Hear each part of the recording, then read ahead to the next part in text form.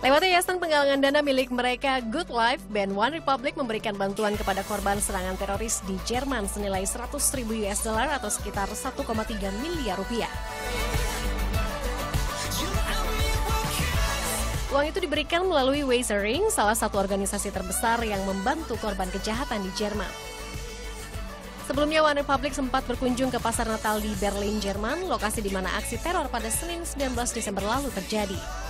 Lewat akun Twitternya, One Republic juga mengungkapkan keprihatinan atas peristiwa yang menewaskan 12 orang itu. Mereka mengajak masyarakat dunia turut menyumbang untuk korban serangan teror di Berlin lewat situs organisasi atau akun bank milik Weisering.